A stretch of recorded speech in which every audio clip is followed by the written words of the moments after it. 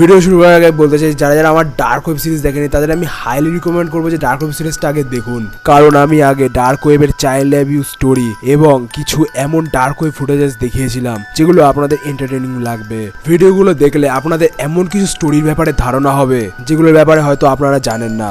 যেমন disease distraction story এছাড়াও Lalita স্লেপ toy তো অবশ্যই দেখে আসুন। তো আজকের ভিডিওতে আমি আপনাদেরকে এমন কিছু টর্চার ফুটেজেস দেখাবো, যেগুলো হয়তো আপনারা আগে দেখেননি। তো যাই হোক, বেশি দেরি না করে শুরু করা আজকের মজাদার video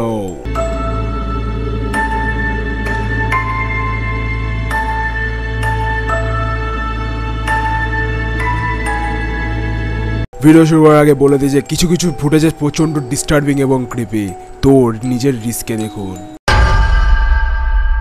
the red room footage যদি আপনারা আমার আগের ডার্ক ওয়েব সিরিজ দেখে থাকেন, তাহলে তো রেড রুমের ব্যাপারে জেনেই গেছেন। কিন্তু যারা যারা রেড রুমের ব্যাপারে সামান্যটুকু জানে না তাদের বলে দিই রেড রুম এমন একটা জায়গা যেখানে কোনো এক অপারেটরকে পে করা হয় কোনো মানুষকে টর্চার করার জন্য। এমনই একটা ফুটেজ আমি এখন আপনাদেরকে দেখাবো, যেখানে আমরা একটা রেড রুম অপারেটরকে দেখতে পাই দুটো এশিয়ান মহিলার সাথে। প্রথমে দেখে মনে হবে রেড রুম অপারেটর শয়তানের পুজো করছে। তারপর সে ওই দুজন সাবজেক্টের মধ্যে এক মহিলাকে চুল ধরে টেনে এনে চেয়ারের ওপর ফেলে দেয় এবং জোরে একটা থাপ্পড় মারে।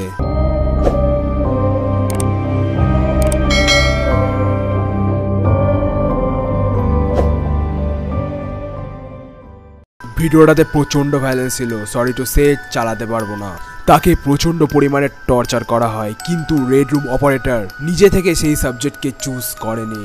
আসলে কেউ একজন তাকে বিট কয়েন দেয় এবং তার ফোনে মেসেজ করে যে, এই মেয়েটাকে টর্চার করো। ফলে রেড রুম অপারেটর সেই মেয়েটাকে চুল ধরে টেনে এনে সেই চেয়ারের ওপর ফেলে এবং তাকে বিভিন্ন রকম ভাবে টর্চার করে। আর তার সাথে সেটাই করা হয়, যেটা রেড রুমে সাধারণত হয়ে থাকে।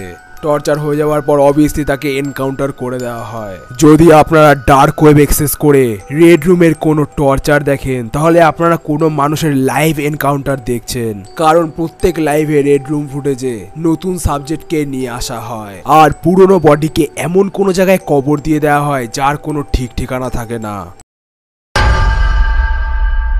The dark web reality show. এইবারের যে ডার্ক ওয়েব ফুটেজটা আপনাদের দেখাতে চলেছি, সেটা এক্সট্রিম লেভেলের আর এটা এতটা পরিমাণে ডিস্টার্বিং এবং ডিসগাস্টিং যে আপনাদের নাইটমেয়ারের কাজও করতে পারে। আমি আপনাদের রেকমেন্ড করব খালি পেটে এই ফুটেজটা দেখুন। কারণ ফুটেজটা দেখার পর হয়তো আপনারা আর খাওয়া দাওয়া করতে পারবেন না। আপনারা হয়তো ভাবছেন, আমি বাড়িয়ে বলছি। কিন্তু ভিডিওটা দেখার পর আপনারা বুঝে যাবেন। আপনারা তো অনেক রকমের রিয়েলিটি শো দেখেছেন। লাইক সিঙ্গিং ড্যান্সিং এছাড়া কন্টেস্টেন্টদের এমন কিছু ফিজিক্যাল টাস্ক দেওয়া হয়, যেগুলো কমপ্লিট করলে তারা শোটাতে এগোতে পারবে। যেমন রোডিজ বিগ বস ইত্যাদি। কিন্তু আপনারা কি কোনোদিন ডার্ক ওয়েবের রিয়েলিটি শো দেখেছেন?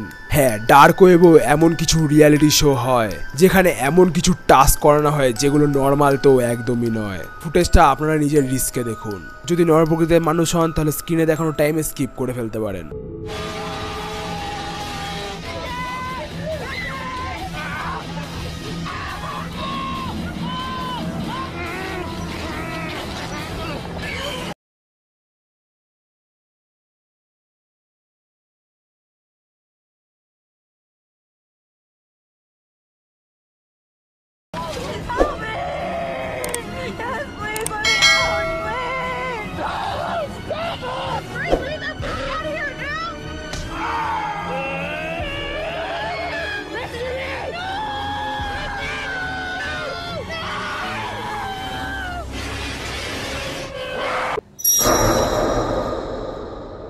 মানুষদের উপর লিটারালি টর্চার করা হচ্ছে। তাদেরকে জোর করে টাস্কগুলো করার জন্য বাধ্য করা হচ্ছে।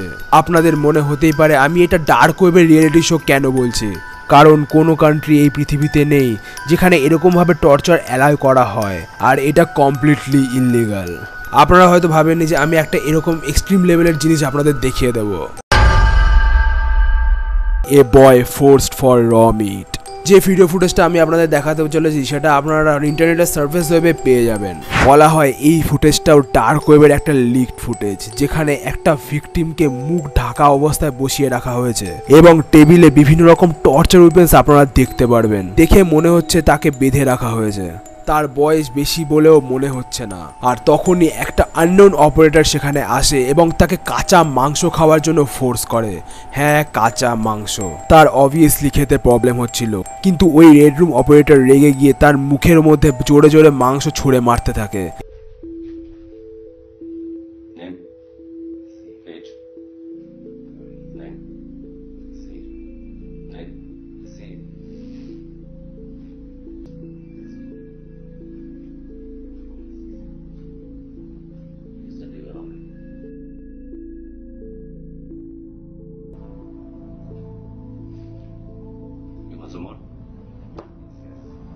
এছাড়াও আপনারা দেখতে পারবেন যে টর্চার উইপেন্স টেবিলের ওপর রাখা হয়েছে।